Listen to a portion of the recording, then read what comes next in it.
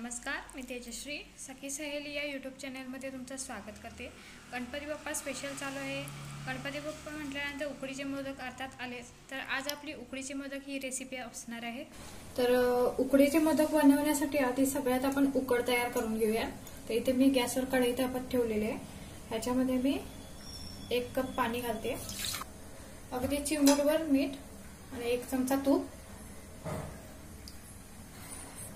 तर फास्ट गॅसवरती आपण याला एक उकळी काढून घेणार आहे. पाण्याला उकळी आलेली आहे. आता याच्यामध्ये आपण एक कप तांदळाचं पीठ घालणार आहे. आणि आता याला छानपैकी मिक्स करून घेऊया याला आपण आता. हे आपलं छानपैकी मिक्स करून झालेलं आहे. आता आपण याला एक दोन मिनिटं फक्त म- मध्यम गॅसवरती ठेवणार आहे आपण याला. तर उकडीचे दोन मिनिटं झालेले आहे. म्हणून मी उकड साईडला ठेवलेलं आहे. व आपण जे सारण लागणार आहे ते करून घेणार आहोत. तर इथे मी कढई तापत ठेवलेली आहे. कढईमध्ये एक चमचा तूप घालते. तूप विरघळलेलं आहे. आपण आता याच्यामध्ये एक कप खोबऱ्याचा चव घालूया. आणि एक साधारण एक मिनिटभर परतून घेणार आहे. साधारणतः एक मिनिट आपण परतून घेतलेलं आहे. आता आपण याच्यामध्ये अर्धा कप गुळ घालणार आहे. म्हणजे एक कपाला आपण अर्धा कप गुळ घालतोय. आता हा गुळ आपल्याला पूर्णपणे विरघळवून घ्यायचा आहे याच्यामध्ये.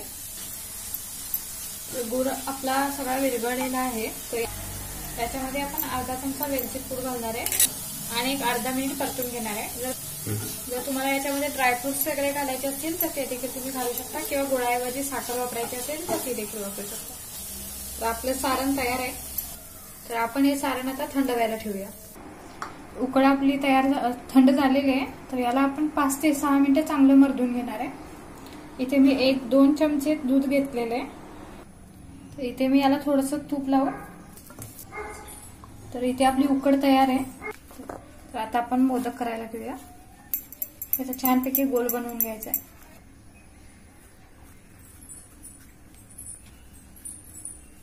आता आता आपण याची कडेने आधी पारी बनवून घेऊया छानपैकी. आपली पारी बनवून तयार आहे. आपण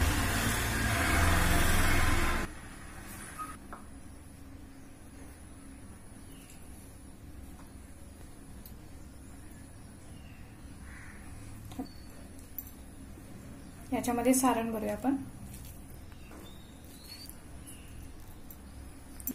हो. तुम्ही बघू शकता किती छान पाळ्या आलेले आहे तर याच पद्ध बाकीचे सगळे करून घेऊया. तर इथे एक मी ठेवलेला आहे शिल्लक. अजून एक तुम्हाला दुसरी पद्धत दाखवण्यासाठी. तर ही आपली पाळी बनवलेली आहे. याच्यामध्ये सारण घेऊया. आणि याला आपण आता दुमडून घेऊया. हे आपल्या जनरली फक्त बनवून घेतलेले आहे. आता आपण याला या स्टिकने शेप देणार आहोत. हे असं.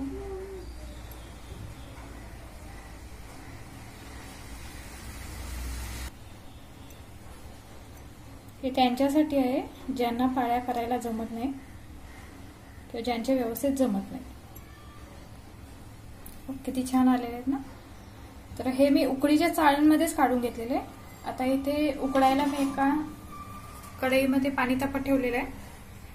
तर याच्या तर हे आपण सात ते आठ मिनिटं उकडून घेणार आहे.